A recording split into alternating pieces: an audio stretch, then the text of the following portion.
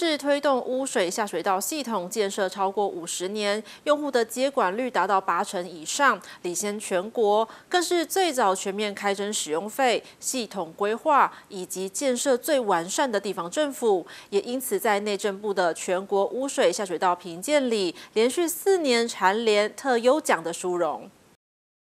污水下水道界的年度盛事，内政部营建署全国污水下水道评鉴，台北市政府连续四年蝉联特优奖，达成四连霸壮举，三个面向评比都获优等最高评分，也是全国唯一大满贯的地方政府。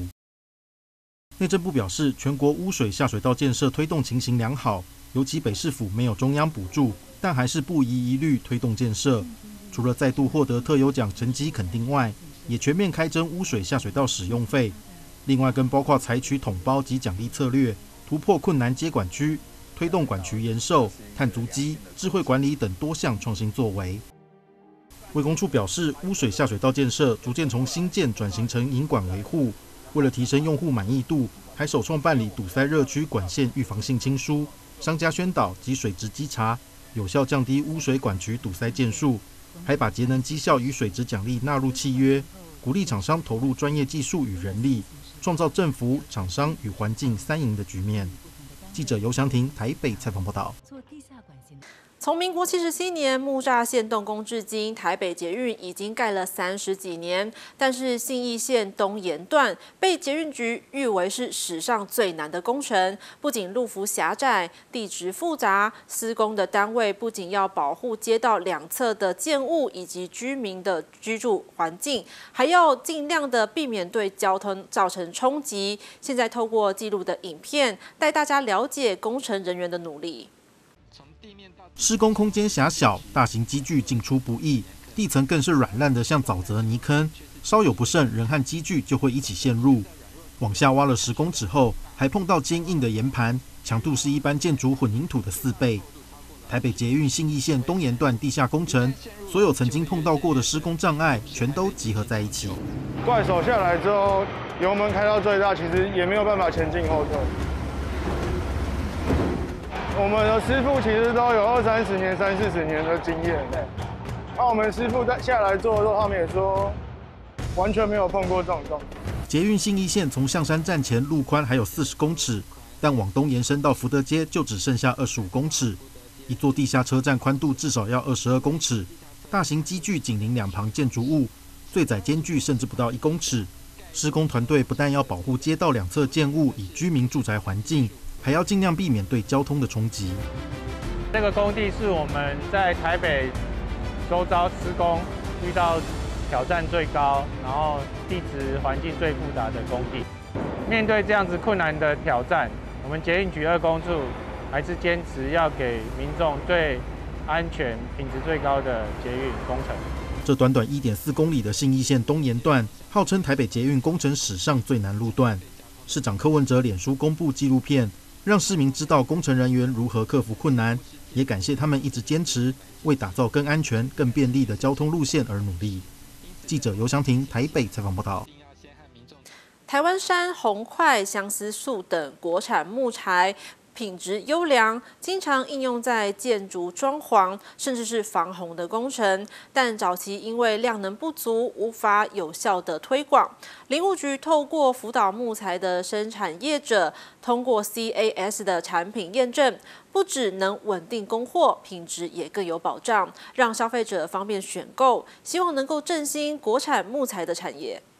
那像这样子的材料，在品质上是受到保证的，哦，规格尺寸是一定的。台湾木材品质优良，不止应用在家具建筑，就连防洪蓝沙坝里的木格框，也是使用国产木材。为了推广国产材，林务局辅导全台北中南东五家制材业者，通过 CAS 产品验证，依照树种、裁切尺寸，生产规格化木材，稳定供应市场。需要呃这些国产材，不但可以。很容易的，在我们北中南东这五家的这个备料厂，可以去买到所需要的规格材，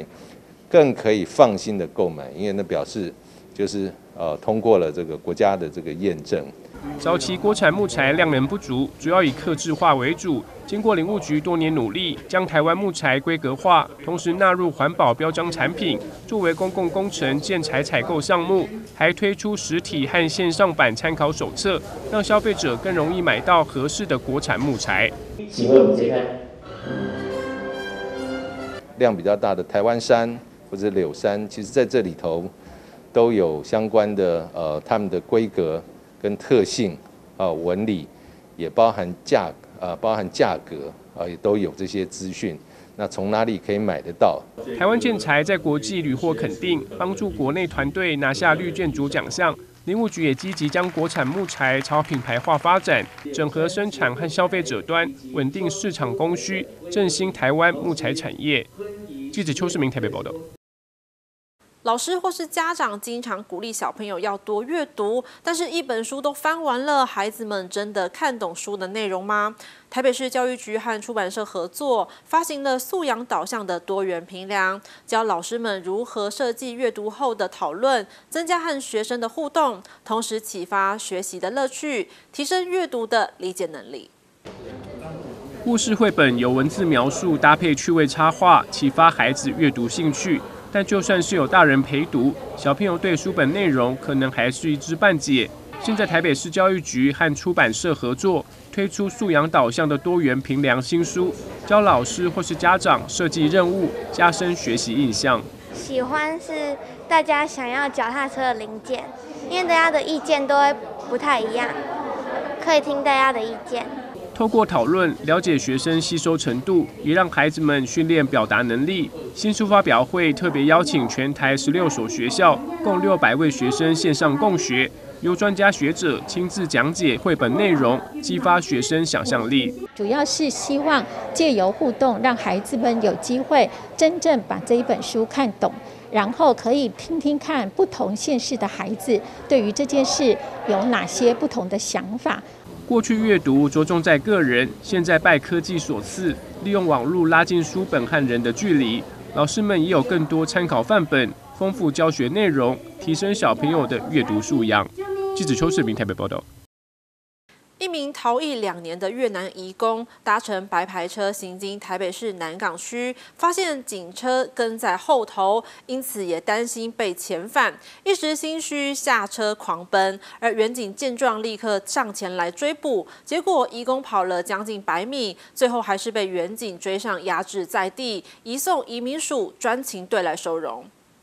金发男子突然下车，拔腿狂奔，远警见状立刻上前追捕，结果金发男子跑了百米，体力不支，被脚程更胜一筹的远警追上，立刻压制在地上。不料台湾警察展现平时训练成果，追系百米仍逮获，全案依违反入出国移民法，将失联移工移交内政部移民署台北市专勤队收容，依规定遣送。原来金发男子是二十九岁的越南籍逃逸移工，两年前就被雇主通报失联。这次他搭乘白牌车要返回金北市租屋处，经过南港区时，发现南港分局旧庄派出所警车在后方，因为担心遭到遣返，一时心虚下车狂奔，结果还是被警方逮捕，因违反出入国移民法，移送移民署台北专勤队收容，择期遣送回越南，结束男子两年来的逃逸人生。记者曹化成报道。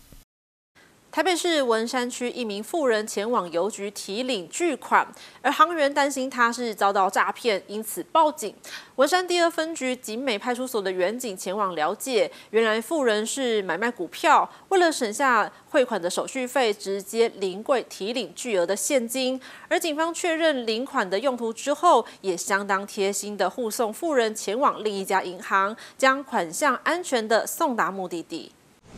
文山第二分局警美派出所员警来到警局，发现王姓妇人在柜台前提领六十万元现金，诈骗敏感神经被挑起，因而向前关怀。是你本人的账号对不对？对。妇人跟警方出示另一家银行的存部证明，原来他是买卖股票，为了省下手续费，打算将六十万元直接存到另一个银行账户。不过警方还是不敢大意，担心富人受人指使。再度提醒诈骗集团的惯用伎俩，在确认无人指使、威胁利诱或涉及其他不法情事之后，远警陪同富人走路到另一家银行，确认款项安全送达目的地后才离开。而即使只是短短的距离，但坡利士的贴心协助让富人相当感谢。记者顾灿勇台北采访报道。接下来，请看生活看板，关心近期重大活动讯息。